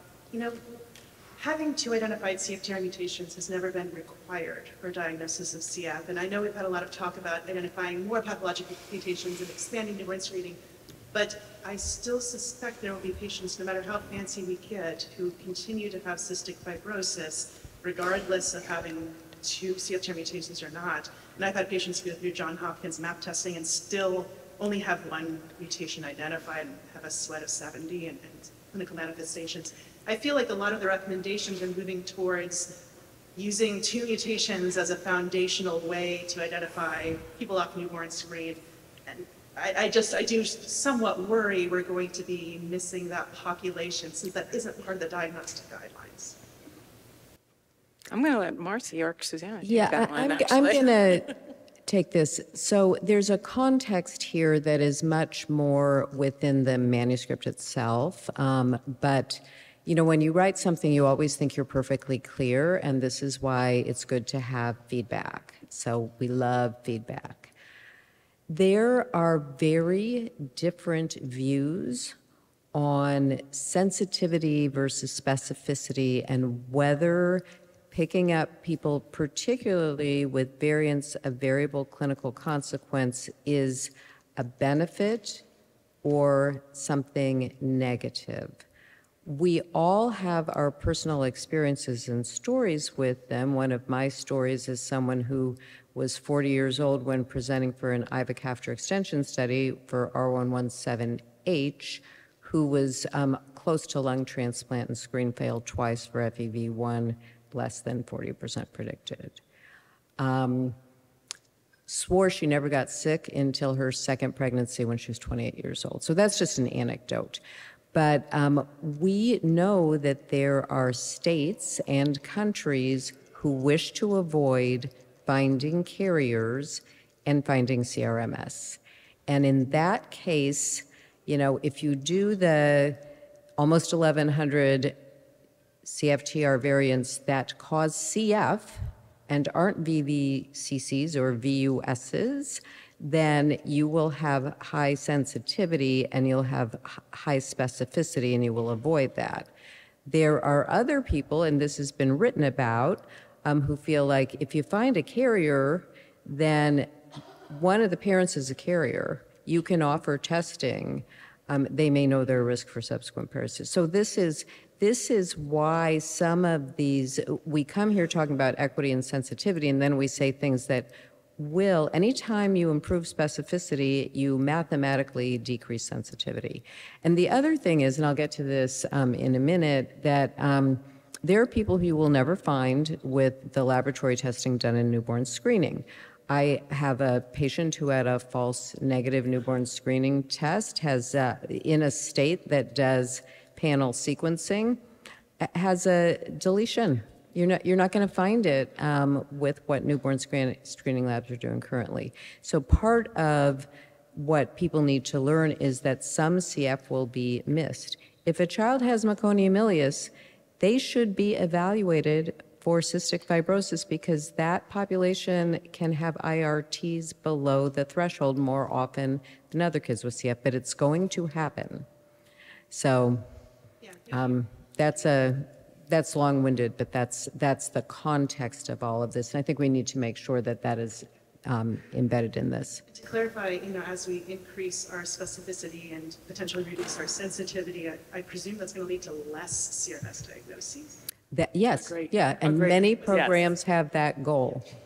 Uh, Probably more in Europe than um, here, but Europe is as, even more diverse than the US is in That, that. that's actually why we still have that very high IRT included in there. And I'd note in New York, the very high IRT has been very important to pick up infants who have only one variant on the panel and no, you know, variants following sequencing, and they're still identifying infants because of the diverse population, but they're identified because of that very high IRT. Yeah. So to your point, hopefully it won't be too much of a decrease in sensitivity. We're still trying to hit above 95%, but we'll be able to identify those infants through other mechanisms. Thank you. Uh, Chris Siracusa, also Cincinnati Children's. Hi, Ellen. Hi, I'm not going to ask about the new guidelines. um, but, uh, but specifically, your presentation was great at unpackaging a really complicated, very complicated multifactorial system and experiences that many of us have.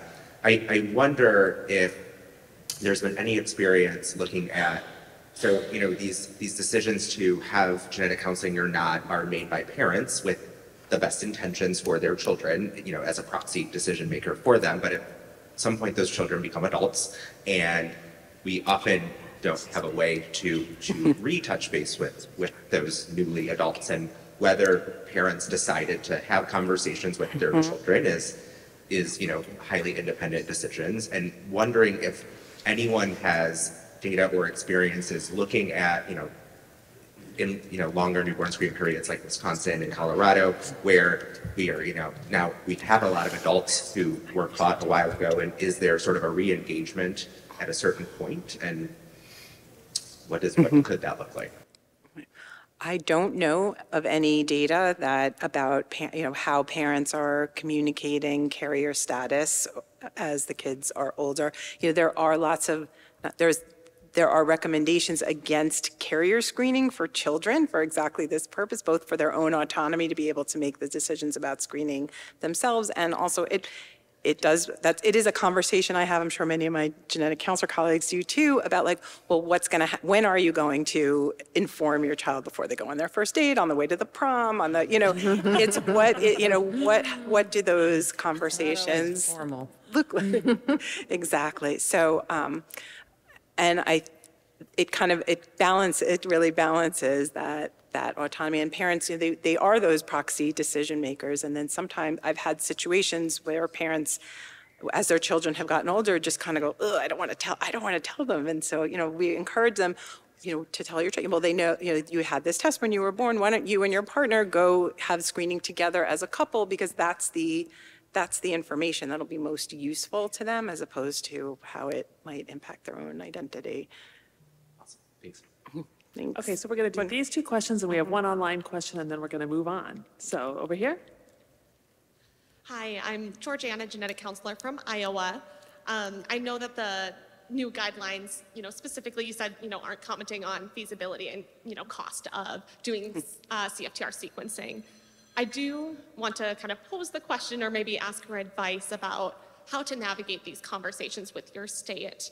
Um, just because I know in our program right now, we already have some families and some communities who might decline a newborn screen based on cost. And so how do we navigate this when, with an expected increase in cost with sequencing added? Oh, so uh, I'm actually, I was- was thinking I was looking at Megan, or Marissa. Um, Do you want to answer it, Megan? So there's not an increased cost. The sequencing is a part of the newborn screen. So we're not recommending at all that sequencing is going through their insurance. It is part of the dried blood spot. I, I think she was asking that question about the dried blood spot. How do we, add- how do you add it to the dried blood spot screening? Marissa, did you want to tackle it from the CF Foundation perspective? Otherwise, I have thoughts too. Um, so as part of this whole newborn screening work to support the guideline, we know that there's going to be some discussion about that. And so the foundation's putting together an advocacy toolkit as well. Um, we're a small, mighty, te- but mighty team at the foundation and can only take direct action in a few states to support those discussions. But um, we are going to have a toolkit for states that we will send out when it is completed. Um, and that will hopefully help you have some of those conversations. But you can also reach out to the foundation if you have specific support needs and we can see what we can do to help with that. I would also say we are, we have collaboratives that have been ongoing. Iowa has been peripherally involved in them because of some other activities, but we really encourage you all to join our collaboratives because we'll have these discussions as well.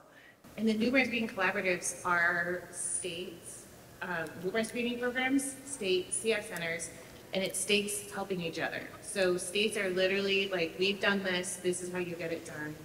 I'm having this problem, this is how we solution it. It's very hands-on, detail-oriented, and like real-world, like sharing of experiences. And I will say that it's been amazing what states have been able to get through. So that's how we're gonna do it, is by all of us working together to get it done. So. Thank you. And so we well, put this on one of our first topics to ask that question. Like, it's a very important question. Thanks. Over here, well, Uh, Just a comment regarding the uptake of genetic counseling among patients. Something else to consider is also coverage by insurance companies. Uh, TRICARE specifically would not cover genetic counseling for their patients. So if you're in a high uh, military area, for instance, you're going to have a much lower uptake because they're young families who just don't have the facility to do that. Mhm. Thank you. And it, it, it's definitely a challenge. I know there is a, actually, the National Society of Genetic Counselors has a military special interest group. So um, they are working on that as well. So that's going to be a larger issue than just in the CF community, but we can get that done. And our final, very, well, it's one- this is, is a big question, but oh, should families be given the option to be informed that their infant is a carrier if we are only reporting infants with two pathogenic variants under the new guidelines?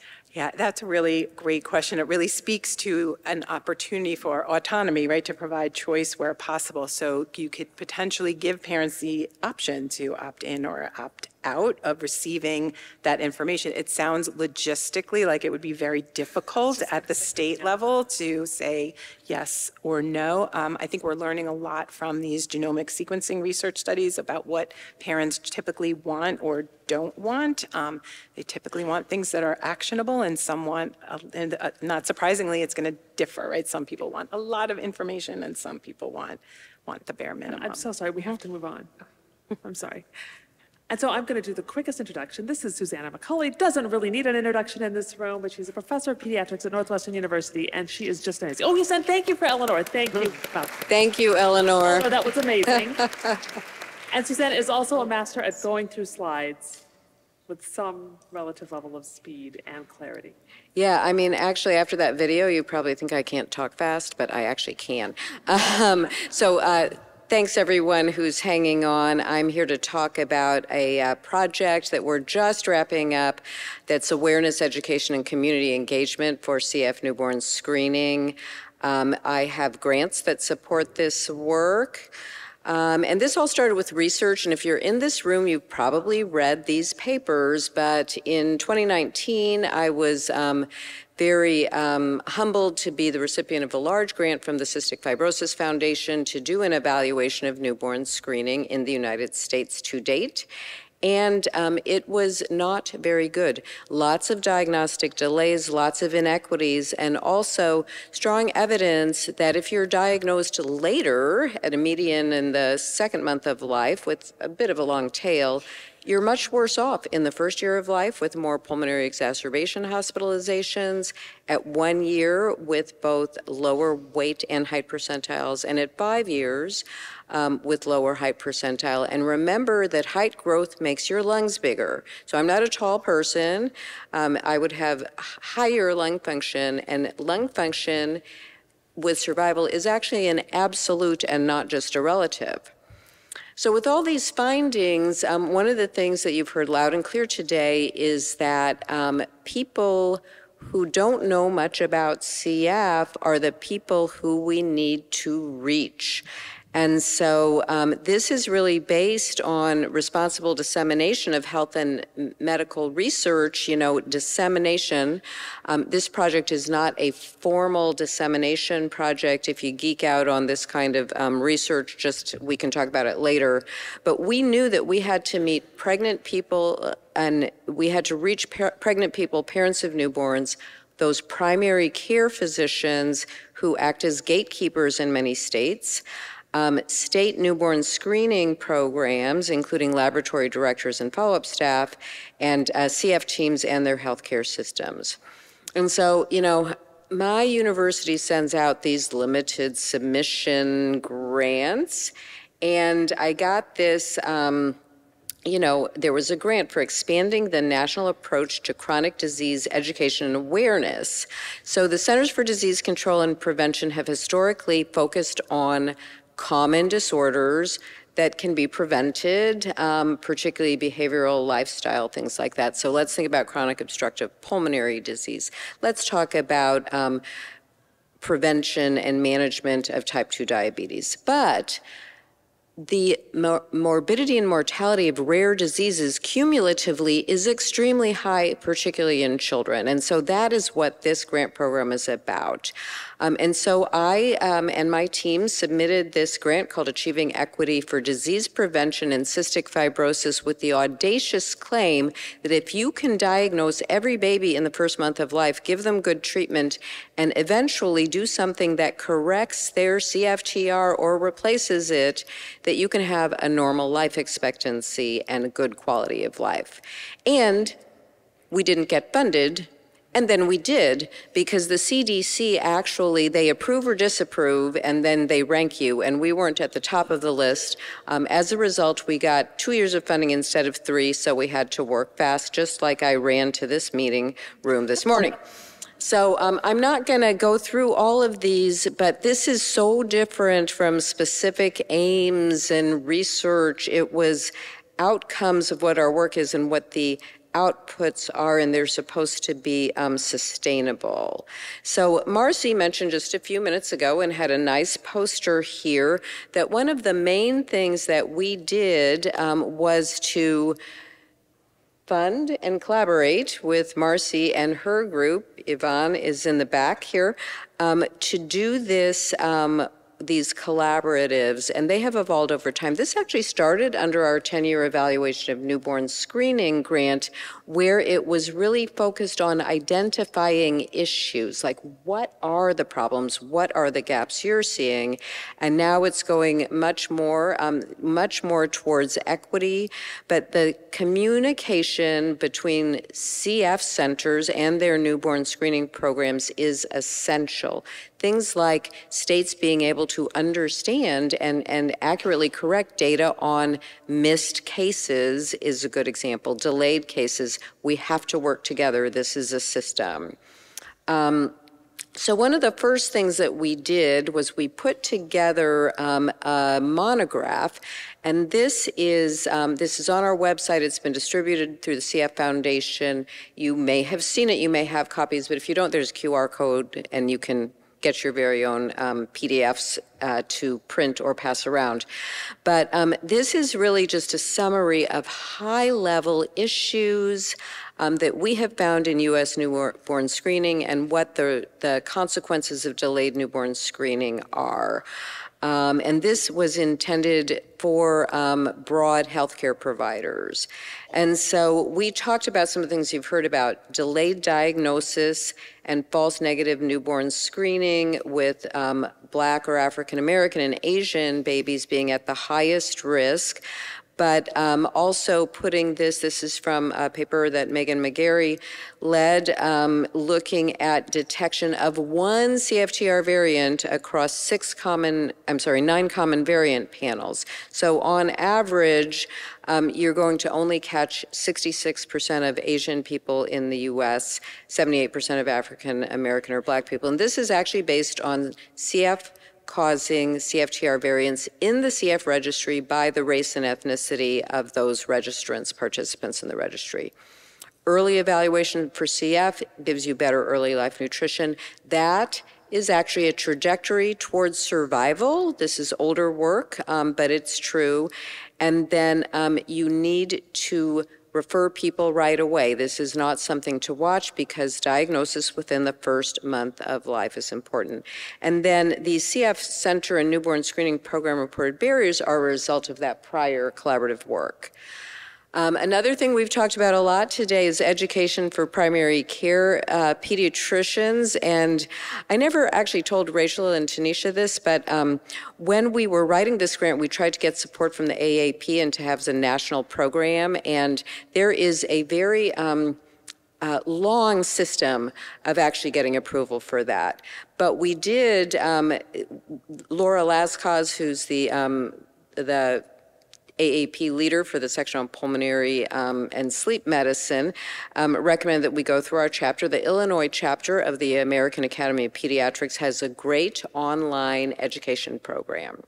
And so we developed a slide deck, um, two slide decks actually. One is about cystic fibrosis newborn screening, talking about how prompt care improves outcomes. This slide deck is available to anybody who wants it. It can be modified, and it's been used for grand rounds at Lurie Children's Hospital. Megan has um, given presentations using that, and Adrienne Savant um, has done it, including at a Louisiana AAP meeting. And then we also have, um, and thank you to Dennis, who um, mentioned that everybody loves mock, ha ha ha, but we actually have a mock part four, which is actually about improving this, the newborn screening office practice system. What happens when you get a positive result? Who does that go to? Who contacts the family? How quickly is that? This is not CF only, but um, you, if you're getting prompt follow-up and good communication to families for CF, newborn screening, you should also be able to do it for kids with other disorders. This education program is online, it's free. Um, it is going to be shifted in the next months to the American Board of Pediatrics website so that people can find it. Um, so I want you to be aware of that, and it's yours to use and to refer people. This grant did not fund research. However, they do allow surveys where there are missing data. And so one of the things that we did um, was uh, survey of general population par parents about their awareness of newborn screening, what they understood about it, and what their own experiences were. This was a Qualtrics XM panel. This is a company that um, has uh, sophisticated ways of getting people engaged from broad demographics. We had a total of a little over 1,700 surveys completed nationwide um, or, or entered um, completed almost 1,600, and we did use, uh, we did allow skipping, so some of our questions had more data than others. But a couple of things to point out here is um, the we gave people very broad categories, um, which will be reported in the paper but um, collapsed. About 61% identified as white, uh, 19% Hispanic, Latino, or Spanish, 13% African American, 7% Asian. So fairly representative of the United States, which was our goal. We had a broad range of educational achievement. Um, we gave, as people entered the survey, we told them a little bit about CF and why we're doing the survey. But we asked a question before this survey, had you heard of CF? And there were significant differences. So 63% of Asian parents, 68% of black parents, 66% of Hispanic parents had heard of CF before, whereas 87% of white parents had heard of CF. And so we wondered if this has to do with um, parental response to receiving an abnormal newborn screening test if their child's variants are actually detected and they have a true positive screen. Um, there were a lot of data about um, how people felt about this newborn screening, and I think a couple of the things that really um, stood out to me was feeling supported by your child's health healthcare team. Um, almost a quarter said uh, they strongly agree, but look at all these people in the yellow who um, strongly or somewhat disagreed um, had difficulty understanding where to go for additional health care, was also high difficulty understanding that what the re test results mean. So 56% didn't understand their newborn screening results. This was among 447 of these parents who just at random selection had a positive newborn screening test for any disorder. Um, pretty much everybody worried about their kids, um, which is not surprising. So we also um, did a survey that was much differently constructed, um, but done with our same collaborators about parental experiences of CF diagnosis through newborn screening in the U.S. And um, we got a lot of information before we constructed this survey. So Megan and I worked with Michelle Wright from NOAASF. Um, we had some group meetings. Megan also worked with people in the center who, parents in the Center for Latinos with Cystic Fibrosis to really try and construct a survey that would um, be a, really relevant to what our community members said. Um, the other thing that we did was that we sent this out um, through uh, NOAASF and in partnership with the Cystic Fibrosis Research Institute and the Bonnell Foundation because we found, closely collaborating with CFF Community Voice that, Voice, that they had a very low number of people who actually um, identified in races and ethnicities where we know that we have um, the most risk of missing people. Um, and so as a result of this strategy, we were able to get about 8% um, Hispanic people and 17% Black or African American people who responded um, with um, other uh, categories here. But we had 373 um, people, uh, parents of children with CF. 19% um, said that they strongly agreed with uh, the process of getting their child CF diagnosis was smooth. Um, we had uh, 7% and 10% um, disagree with that.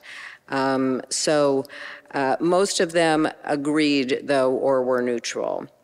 Um, there was 35% uh, of people felt that it take too long to get information about their child's diagnosis, and um, a fairly significant percent felt that there was diagnostic delay by based on their race and ethnicity. And so all these things, these top box things, are really things that CF centers can do something about and that primary care doctors can do something about. Um, the other thing that I wanted to point out here that's relevant to CF centers is um, among people who um, answered this question about how long did it take after you were notified, only 21% uh, were seen in a CF center within three days. Um, and a very large proportion were seen after eight days. And remember that the guideline is to see someone within three business days of them uh, of you knowing about them, because we know that um, being uh, contact is, is different in different states, how people get into CF centers. So there's work for us to do in the CF community. So um, reaching parents in the public is very important to us. And so we um, developed public education materials based on our findings from parental surveys. Um, and we also, uh, once we developed these, we did virtual focus groups of Chicago area parents. And I'm going to give you the feedback first because we changed what we did based on it. But they, in general, they very much liked it. They thought they were simple. Um, they uh, liked it better than what they'd received at birth hospitals. Um, they felt that um, what we put together was uh, representative of their families with diversity standing out in the materials. But they did want, they did have a number of good suggestions, including providing more detailed information about each newborn screening test. And they also said, we want to see this when we're pregnant, not when we're exhausted from having a newborn being a parent, that resonated with me too. So um, this is these are some of the materials we had uh, we have come up with. And um, we did think people need to know about newborn screening. A lot of people had low awareness of newborn screening overall. Um, so we put this to, together as a simple slide. This is what newborn screening is. It's the blood, it's the pulse ox, it's the hearing test. Um, we had some specific cystic fibrosis ones, and then we had, you know, keep yourself informed, know the newborn screening results, and other ones that are very action oriented. Um, so uh, we've got QR codes on here, which go to the CF1 goes to our CF newborn screening landing page. The newborn screening general ones go to our general newborn screening landing page, from which you can go back to our CF screening landing page. And so this is for our community. But this can also be for your community. This was funded by a federal grant. And so you can have, if you want them, these unbranded materials and you can put your logos and your QR codes for where you want people to go onto here so that they can get the information um, in your region. Um, finally, um, we had a national indicator report. Um, this was something that um, kind of slipped uh, under my radar when we applied for this grant, but every grantee has to do one of these. And I was very, very fortunate to have amazing support from Alex Albert and Runyu Wu at the CF Foundation to put this together. So this is a comprehensive description of cystic fibrosis in lay terminology with a strong emphasis on newborn screening. Um, we are making progress in this Age at First event that is very relevant to later newborn health. See this is, we got to be within the first four weeks of life for diagnosis and treatment diversity of the population and, and take home points. You can have this, you can get it through this QR code. We'll email it to you. You can find it on our website. Um, we like it and we hope you do too. Um, so, so many collaborators here um, that I am not going to go through them since we are at the end of this session. I will stay on for any questions for those of you who have time to stay, and I'm available um, through the app and through email. But I just want to thank everyone who participated, many of whom are in, in the room, and um, we hope that this will make a difference. And I think when we have advocacy and education and guidelines, the hope is, and this is a comment back to people who are talking about resources, we want the resources and the education to go to all of the people who make decisions so that we can get every baby with cystic fibrosis diagnosed in the first month of life. So thank you very much and um, have a great afternoon.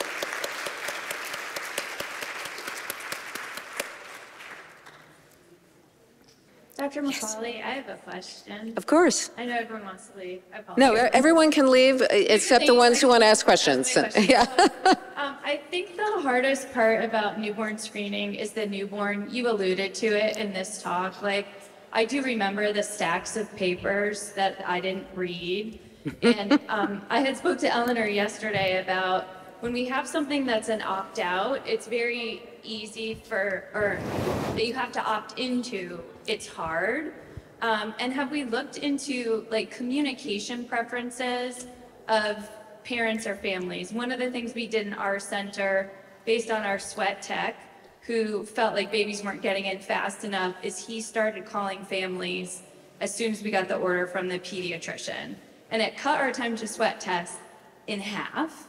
Um, but I had my babies 15 years ago, so maybe if I was having a baby today, my preference would be something else. And I was just wondering if we were actively investigating that as a method of helping families know what screening is and why they should be taking advantage. Yeah, I love that question, and I will actually tell you, um, based on some of this work and, and some of the feedback that we did get from people, including this, like we want to know more before our baby's born.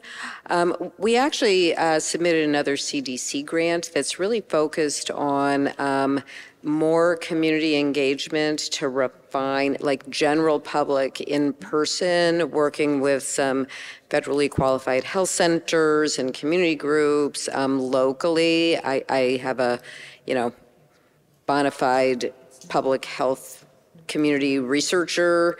Um, and again, we got approved but not funded, so I don't know if I'm going to do that or not. I'm certainly going to look for other avenues to do some of these things. Um, I think that what we uh, we do have, though, is we do have information, if incomplete, and material to say we need to be talking to our birth providers. So in the state of Illinois, it's almost all MD, OBGYN, but in some states, there are many deliveries done by family medicine doctors. Um, midwives are used um, broadly. There are certainly midwives in Illinois. In some states, um, there's a higher proportion. So we need to get to these groups as well um, so that prenatal care and, um, you know, also understanding like limitations on carrier screening, because we haven't addressed this, but, but I have a family whose um, daughter's uh, diagnosis was delayed because this black family, you know, mom had a variant, dad ACMG 23 didn't, fi- that is predictable. So, so there are lots of, Their carrier screening is normal, right? Yes, yeah. They don't have CF, but they are a carrier. And so yes, yes. And, and people don't, you know, depending on what you do, like, there's always residual risk, and people who have had carrier screening and one of the parents doesn't have a variant, they, um, they can delay. They think they're, you know, and, and we've seen families like that too, whose kid's CF diagnosis was delayed a little bit because they thought it was ruled out. And it takes, you know, people like, people don't like gray zones, especially with their health and their child's health. So I'd encourage anyone else with questions to please come on up. And everybody else, have a great rest of your meeting and a safe trip home. Thank you very much.